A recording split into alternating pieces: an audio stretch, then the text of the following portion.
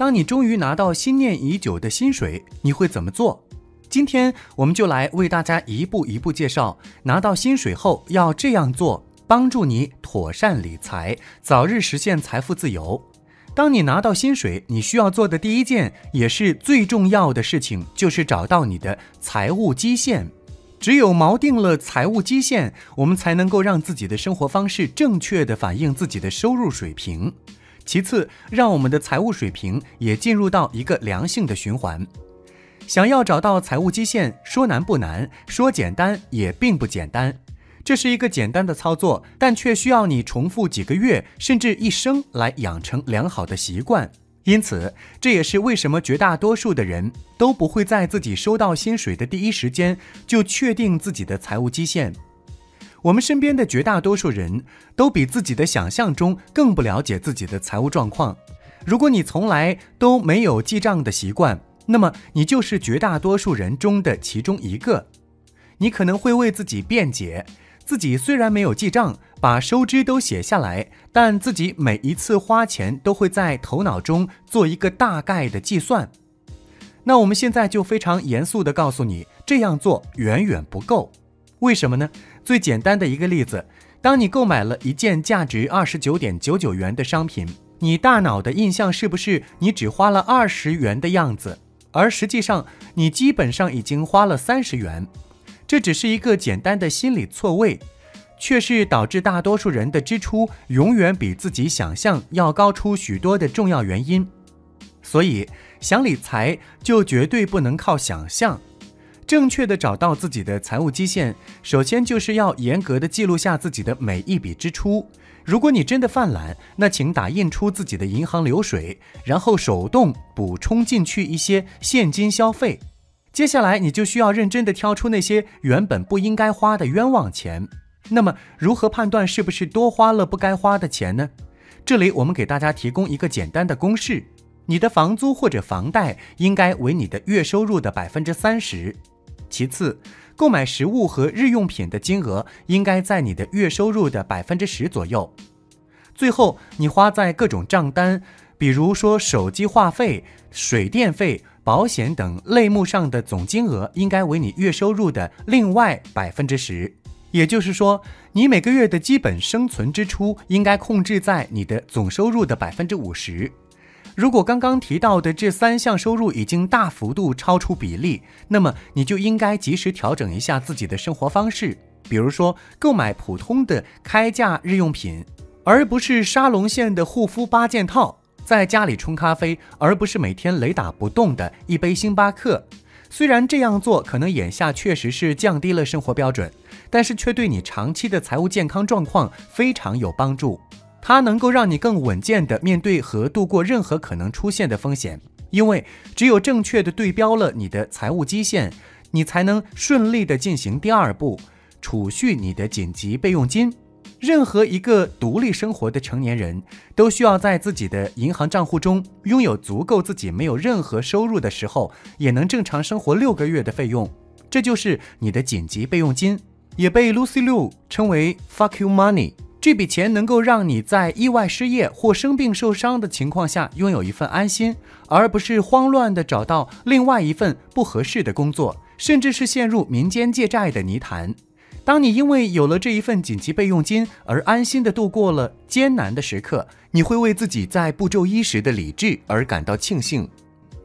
接下来，你就可以进行第三步清理债务。我们每个人都可能会背有一些负债，这可能是当初为了拥有一辆代步的工具，也可能是为了犒赏一下自己，分期购买了自己一时无法承担的物品。拥有债务无可厚非。但想要让自己尽可能少的偿还债务，在发薪日之后立刻清理自己的债务是一个非常好的习惯。具体的操作办法，大家可以参照以下步骤：首先列出所有未偿还的债务，包括信用卡、贷款、医疗账单等，然后对于每个债务记录其利率。通常信用卡债务的利率相对较高。接着，我们再列出每个债务的每月最低还款额度，然后我们就可以看看是否有用来额外偿还债务的资金，比如说储蓄、奖金、副业收入或任何其他可用资金。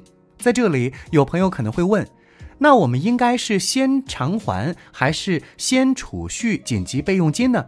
通常没有紧急备用金，可能导致我们在未来继续借债来应对紧急支出，因此有带来更多债务风险的几率。而一个负债过多的人，在申请新债时的利率往往会更高。所以，通常情况下，在没有高息债务的时候，我们可以优先积累紧急备用金，低息和免息债务按时偿还即可。但是高利率的债务会让我们支付更多的利息，承担更重的负担。因此，如果有高息债务，优先偿还高息债务往往是更明智的。具体操作，大家可以根据这个原则，结合个人情况灵活操作。当债务情况过于复杂的时候，一定要及时咨询专业金融顾问，避免自己做出不合适的选择，在债务中越陷越深。当我们的个人债务处在一个较为良性的偿还模式下，我们就可以开始进行投资的部分。投资基本可以分为两个部分，一个是个人正常生活的基本盘，另外就可以在基本盘稳定的前提下关注长期增长。个人投资的基本盘主要还是在养老金。对于养老金，无论是受雇还是自雇，大家都一定要对养老金多多重视。因为这是市面上为数不多的免税投资理财项目，所以无论是国家养老金、企业养老金，还是个人投保的养老金，大家根据自己所在的国家和地区，多多了解当地政策，不要错过了最佳的投保时机。因为大多数养老金都要求有一定的起投年数，年数不足，很可能不能在自己想要退休的时候领到理想的金额，甚至完全领不到养老金。那之前的投入也给别人做了嫁衣。至于长期增长，对于普通人来说，最简单的办法就是坚持定投。复利是世界上第八大奇迹，懂得复利的人已经开始通过复利赚钱了，而不懂得复利的人也正在为无知付出代价。这句话说的虽然比较重，但现实就是如此的残酷。先给大家举一个例子，我们假设有两位投资者，小帅和 David。他们每年投资一千美元，年化收益率为百分之十。小帅从十八岁开始投资，而 David 比小帅晚了五年。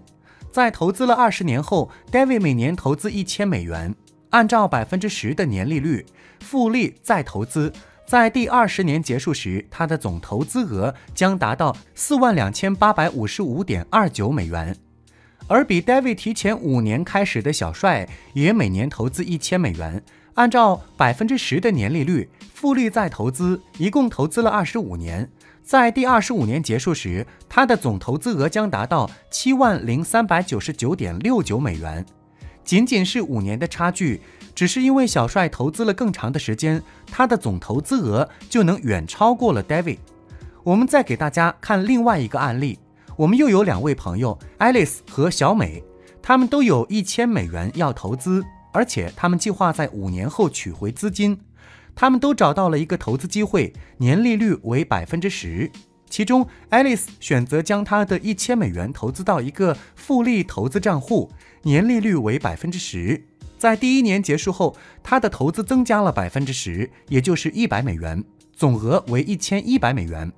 在第二年结束后，她的投资再次增加百分之十，增幅基于前一年的总额。及一百一十美元，总额为一千两百一十美元。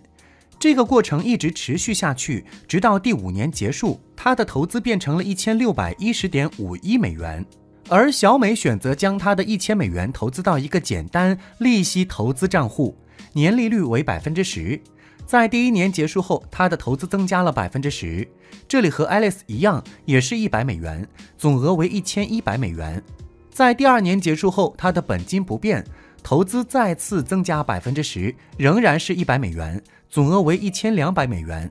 这个过程一直持续下去，每年小美的收益都是固定的一百美元。到第五年结束，她的投资就是一千五百美元。所以，同样的起投金额，同样的年化收益率，Alice 选择复利投资，最终她的投资增长到了一千六百一十点五一美元。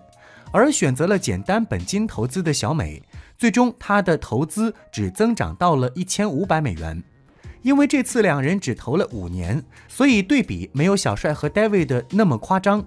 通过以上的两个案例，相信大家不难看出，投资一定要越早开始越好，而且在尽早开始的基础上，复利投资在长期内能够实现更大的资本增长。那么现在你是不是已经清楚的知道了，在发薪日之后究竟应该如何更好的规划自己的薪水了吧？我们最后总结一下。首先，我们要找到自己的财务基线，重新审视、调整自己的生活。一旦整体的生活方式得到了调整，慢慢我们就能够养成正确的花钱习惯，不会把钱花在自己还不足以支付的事物上面。接下来就是为自己未雨绸缪，存下一份紧急备用金，让自己在未来能够出事不慌，这样才不会轻易的掉入任何金融陷阱或者是任何陷阱。然后就是清理自己的债务。我们生活在一个基本上不可能没有债务的时代，拥有一定的债务不一定是坏事，但我们一定要拥有还债的能力。这个基础就是良好的现金流，加上正确的规划。其次就是锦上添花，为自己的未来做好长远的准备，从筹备养老金到选择合适的定投产品，然后坚持投资下去，日复一日，年复一年。利用复利的力量，让自己领先同龄人一步。中天财经频道与您同行，联准会超音升级抗通膨。美国的他们的通膨呢已经开始下降，对不对？所以有很多人都讲说啊，这个通膨的问题解决了呀，哎，已经结束了，对不对？最坏的情况已经过去了，至少减缓。对，所以股市呢应该不会更坏。可是我的问题是，现在通膨的危机大概上大致上已经大概解除了，呃。三分之一或者是五分之一了，可是呢，另外一个问题呢，就是呢，经济经济衰退的问题，现在才刚刚开始，而且是全球性。施工底加啦！分析师林永年不藏私，投资心法手把手教你把小钱变大钱。请锁定每周晚间八点中天财经频道，张雅婷和您与钱同行。我是李小玲，全球财经周报每周六日最新总体经济趋势报给你知道。这个池子的水呢变浅，所以它养不起那么多大鱼了，因此股票啦、房价啦都会往下跌。无论是信用风险啦，还是资产安全性啦，还是市场的波动度啦，都在恶化。掌握金融脉动，世界局势变化。我是马凯，我在全球震惊周报。